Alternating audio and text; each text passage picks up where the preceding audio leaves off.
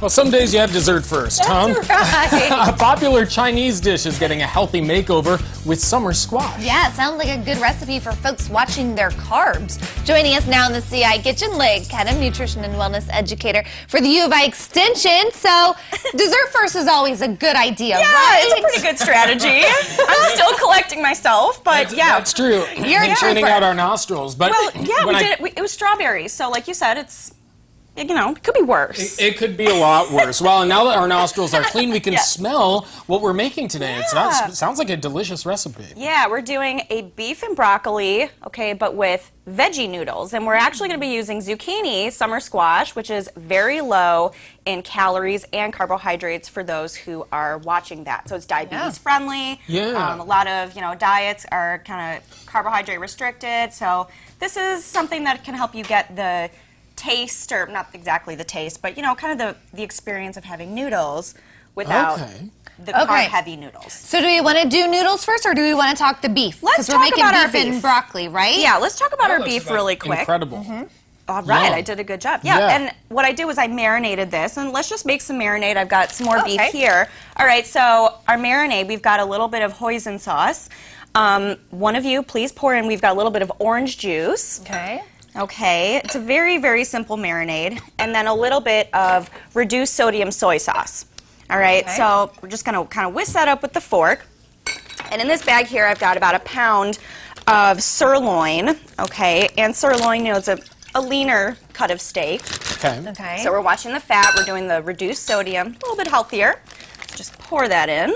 Oh, you, You- put it in the Oh, bag. look, I don't I got it all oh, there it's at the fine. bottom. There's plenty in there. Are you sure? Uh, yes. No, no, But- we gotta okay, get it off. she's a perfectionist, so that's fine. You've got a tip though to prevent food poisoning. What's Yeah, that? you know, a lot of people will marinate on the counter, and I really um, get worried when people do that because you're really setting yourself up for food poisoning. You know, you're at room temperature; those bacteria Right. are going to be developing. They're kind of multiplying. So just stick this in the refrigerator, okay, for about two hours. You can also do it overnight.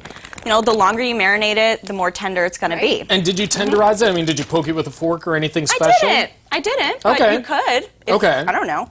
I know Good some. idea. People, I know some people do that. I didn't know if that Yeah. was a thing or it mattered with this Or you kind could of like dish. pound them thin if you wanted to. Okay. Yeah, good idea. Okay, so once it's marinated, now Once it's it's time marinated, to roll yeah, up. we kind of we put that in our pan. We um, we kind of just saute this on both sides until it's nice and done. I'm just going to take it off the heat so it doesn't overcook, and we'll leave that for now. So let's make some veggie noodles. Ooh, okay. All right, this is where we're going to put our spiralizer to work. This is one of my absolute favorite kitchen gadgets. Mine too. I, I, hear Heather is a fan. It's Yeah, so here, let's fun. swap places, Leah, so Okay. you can show us how it's done. All right, I love this. I, yeah, I like to say it looks like a torture device, but really it's not that scary. I Those promise. zucchini need to be nervous. Yes, that's right. Show them who's boss. so we kind of take. It's good to use zucchini that have a wider base, and you could use any vegetable actually. Um, have you experimented with any?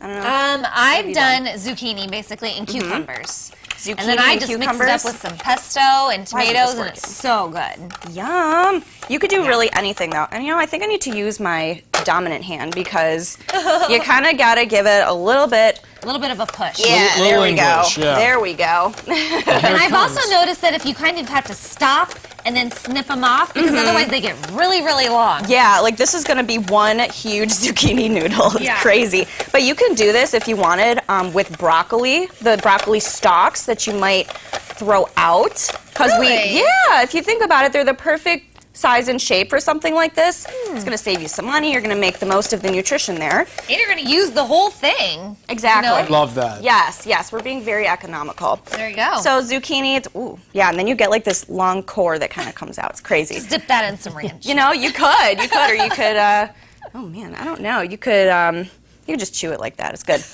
It's good for you. Fiber. I mean, these are really great. We'll do it for us. Yeah, you Mikey could do likes anything. it. Yeah, that's good. Now, do we cook these, or what do you do with them after you've spiraled them? So a little bit later, um, we're going to come back and we are going to cook these along with some vegetables, some onion, and some spices. But again, you know, this is a great way to cut down on the carbohydrate. You're adding lots of fiber. Nutrients. Do you cook these zoodles like if you're not going to do it how Yeah. we're doing it and you want to make it like spaghetti? Uh. would you boil them in water like you would spaghetti, real spaghetti? Mm, Probably not. I mean, zucchini has a lot of water by itself and they can tend to get a little bit soggy. So I would either saute them in a pan or you can steam them very quickly. Oh, there you go. And, you know, in a microwave safe bowl, add just a little bit of water and zap for, I don't know, about two Okay. minutes. Yeah. All right. Love this, so stick Let's around. wait. I can't wait, and I want to eat this meat. That looks delicious. Meat. Mm. Okay, we're going to check back with Lily in a few minutes, and you can find this recipe online for dinner tonight. Right now, head over to CILiving.tv. We'll get you connected. Hey, coming up, a first